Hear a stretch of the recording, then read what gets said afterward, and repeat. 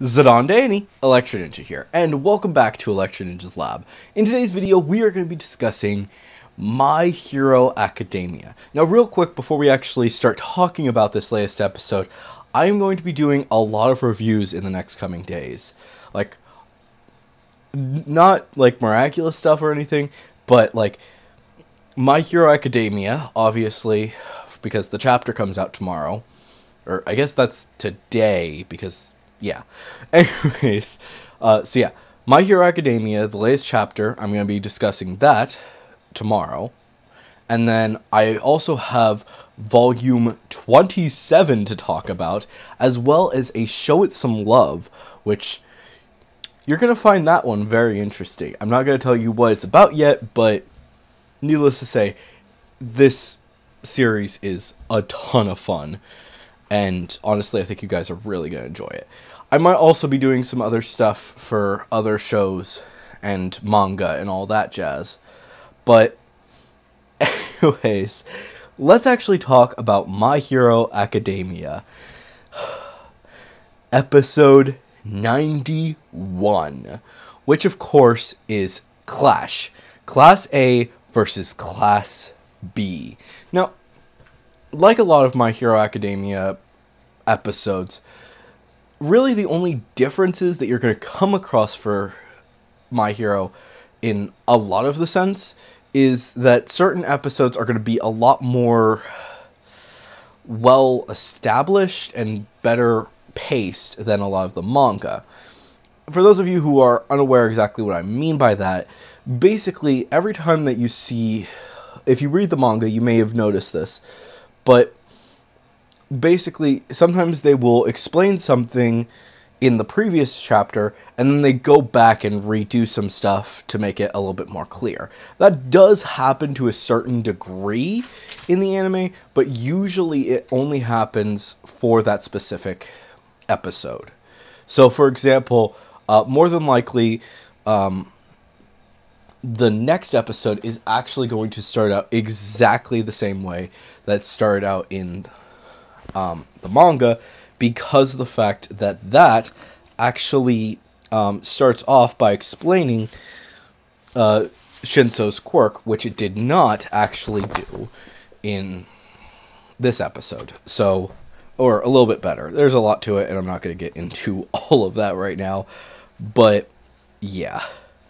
Now, the only real big difference that is noticeable is right at the beginning of the episode. Um, in the manga, uh, Aoyama just bursts into Deku's room and then has that discussion with him that we see. But in the anime, he's just barely creaking the door open. I think the reason for this is because the fact that they're more friends and I don't know. There's a lot to it, but um, he's still a bit flamboyish. It's just not as extreme as it was in the actual manga, which I don't necessarily think is a bad thing, but some people may actually say that it is. But let's actually talk about what this episode is. Obviously, it's not a big theatrical thing. There's not like a whole bunch of fighting and this and that. No, basically all this chapter is is just explaining okay, here's what's going on. Here's the transition. We're going into this now. Enjoy. Basically, um starting off with obviously the explanation and the discussion about Deku's quirks and how they're starting to manifest and all of that jazz, which I know that many of you guys haven't actually understood that yet, but yes, that is going to be a thing. And we'll talk about that as things get closer, and we'll, like I said, we'll talk about it. It's just taking a bit of time, and yes, Deku will be unleashing his full power pretty soon. or actually learning more about that very soon when we actually get to his chapter. Or his episodes. I don't know really how to describe it. But pretty much it's self-explanatory. The entire episode is pretty quick and easy to understand. Um, obviously, every we're meeting everyone again for the first time, which I do have to say, I wish that there was a little bit more of an explanation for the different classmates um, from Class B, but at the same time, it's not as bad as you may think. The fact is that this whole season is going to be, or this whole half season is just going to be devoted to meeting all of these classmates. Because the honest fact is that we haven't really gotten to know these guys yet. But they are going to be very important moving forward, especially considering the fact that after the war arc, things really hit the fan. And it uh, honestly, I can't imagine them not being at least a little bit involved. So, knowing all of their quirks is really going to be helpful with the continuation of the series moving forward in the manga. Uh, there is still some stuff that has happened in the manga that they are involved with, but still not very much. Basically, like I said, this is their introduction. Basically, showing what all of them can do and how far they've come in this year, because basically all we've been seeing is Deku and his classmates and how they've grown over the past year.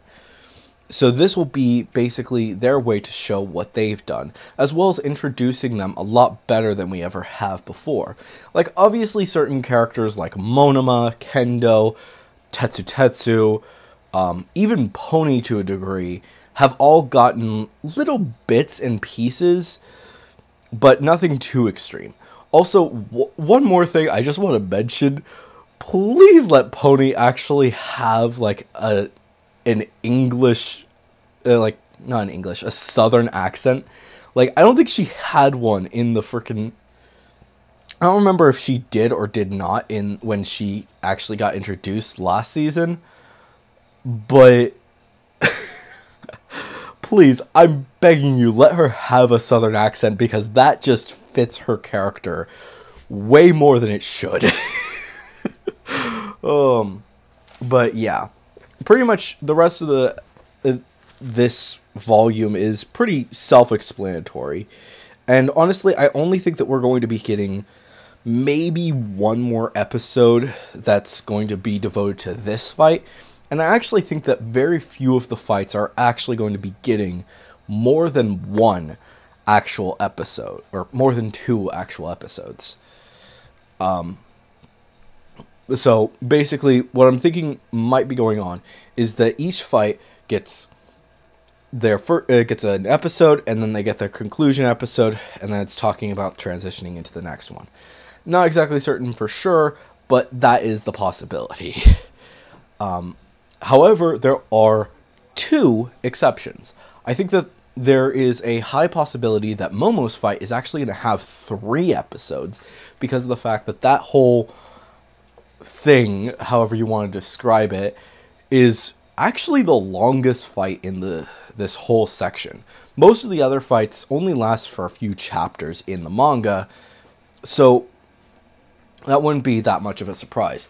But Momo's fight is practically an entire manga to itself. and it's honestly a really impressive fight that I'm real that's the one that I'm most excited to see that fight just expressed in anime form. Like obviously some of these other fights are actually really cool. Like seeing the whole stuff with Mudman is insane. but the whole Kendo versus Momo is just honestly a truly amazing work of art. And I love it. I honestly love that chapter or those chapters because it really does show how much these two girls have grown and become better heroes. I love it. I, I actually do love that. I also love the Mushroom Girl, but we're not going to talk about that right now. um, but anyway, so that's that. And then there's obviously a few other fights that are going to be that could be pretty long, such as Deku's fight. I actually wouldn't be surprised if Deku's fight is actually longer due to the fact that he has a lot of stuff happening. Even though the uh, the actual fight itself is actually pretty short when you actually read the manga. I honestly can't imagine it being shorter than two episodes just for right now because of the fact that this whole fight is just constant battles and honestly I love it. I love this whole that whole section because Deku unlocking Black Whip is honestly one of the most amazing quirks there are or situations there is and I'm excited, especially considering the fact that I'm so excited to see Shinso actually get more screen time. And to see that fight, like I said, I'm really excited.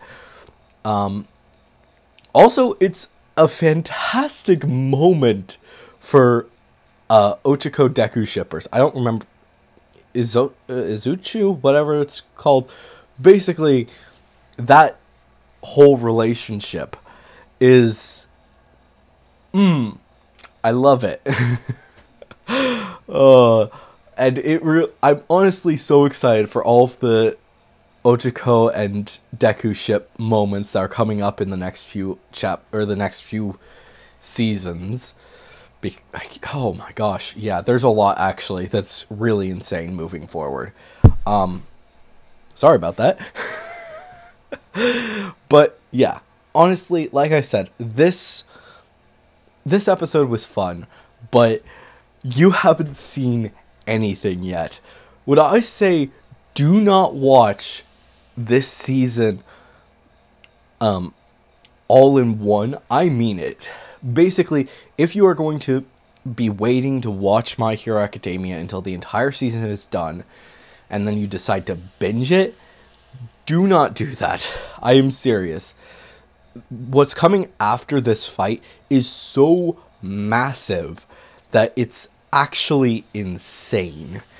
So, if you're planning to watch this whole series as it comes out, yeah, don't do that. The My Villain Academia is so insane. On top of the fact that there's also right around the corner is freaking the war arc. It excites me a lot. Ugh. We'll talk more about the war arc and the Endeavor Agency arc as we get closer to those. But for right now, hopefully you've enjoyed this video and are looking forward to seeing more in the future to talk about my Hero Academia, Miraculous, and everything else. But anyways, guys, hopefully you've enjoyed this video. If you have, please make sure to leave a like, subscribe if you're new, and ring that notification bell. And even if you're not new, but you just haven't subscribed yet, please subscribe and ring that notification bell, because only apparently 30% of the people who watch these videos are actually subscribed. So please make sure to subscribe and ring that notification bell. And of course, if you have any thoughts or theories, please leave them down in the comments below. If you are going to leave a theory, make sure to say theory review somewhere in your comments so we can talk about it in a future video. And of course, if you want to support the channel even more, then definitely head down to the description and check out all of our links down there, including our social medias, our other channels, and ways you can support us financially, including the merch store, the book, and of course the Patreon, which a big thank you to our current patron, Sheeny. But anyways, guys, I have been Electrininja, and I will see you guys next time. But on!